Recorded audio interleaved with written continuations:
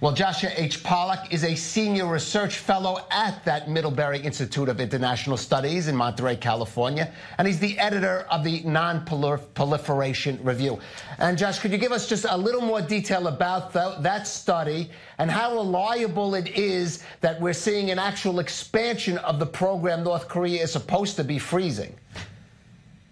Well, uh, we got a look inside the buildings uh, at the site in question last August when the North Korean leader Kim Jong un visited there.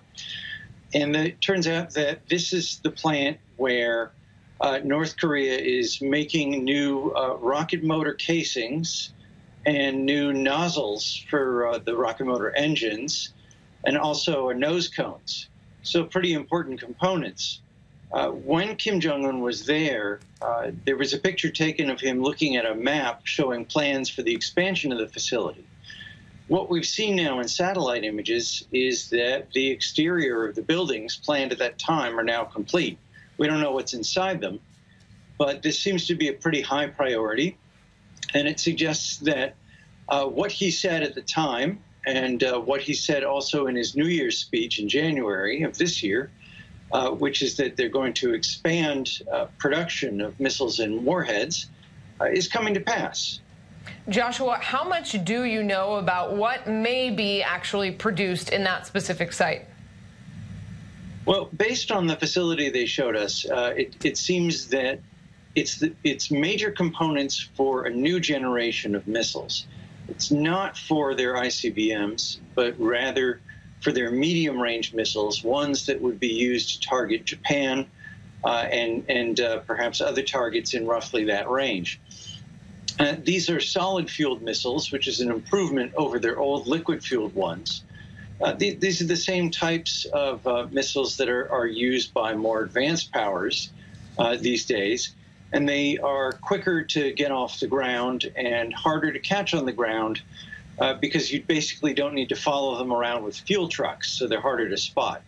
Well, Joshua, stay with us. I want to bring in a, a little bit of uh, an interview that was given by National Security Advisor John Bolton. He has in the past supported even a preemptive strike on North Korea, known hardliner. This weekend, he was asked about the talks with Pyongyang on CBS's Face the Nation watch. And it's to North Korea's advantage to see these programs dismantled uh, very quickly because then uh, the elimination of sanctions, uh, aid by South Korea and Japan and others uh, can all begin to flow. Within a year? Well, what our experts have, uh, have devised is a program that with North Korean cooperation, with full disclosure of all of their chemical and biological nuclear programs, ballistic missile sites. That hasn't happened yet? We, we can, it has not. We can get physically, we would be able to dismantle uh, the overwhelming uh, bulk of their programs within a year.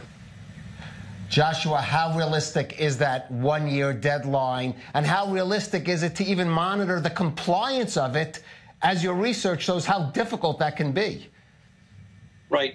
Well, uh, I, I, defer to others on the logistical questions. I'm sure that a lot of work can be completed in a year's time. It sounds to me like a a, a massive, massive effort. I, I, do have some doubts about how realistic that is, even from a logistical perspective, but that's not my, my area of expertise. What I would say is the North Koreans are not going to agree to hand over uh, you know all, all of these programs uh, in that time frame or, or indeed ever. Uh, I think diplomacy can achieve uh, lesser milestones, uh, but important ones the all or nothing approach that uh, Mr. Bolton is presenting is going to result in nothing if we really truly insist on that. Joshua, uh, as you know, uh, of course, compliance is one of the most difficult things in any kind of deal like this. It's one of the biggest problems President Trump had with the Iran nuclear deal. How much do you know that you don't know about what is happening in North Korea in terms of its nuclear program? Well, uh, we don't know where they keep their warheads. We don't know how many warheads they have. We don't know how much fissile material they have for making warheads, that is to say, plutonium or highly enriched uranium. We do know where they've made their plutonium, but we don't know where all the highly enriched uranium is made. There have been some reports on that that there are multiple um, hidden sites, uh, according to, to recent reports uh, that have leaked out of the intelligence community. and I don't know that we know their whereabouts. So, uh, just just to give you a general sense, that that's that's just the nuclear program. Uh, the chemical and biological programs, I think, are even less well known. All right, Joshua, so, really uh, very important to remember so many variables, what is unknown about the North Korean regime, which is, of course, no. much further along in its nuclear program than Iran ever was at the time of a deal.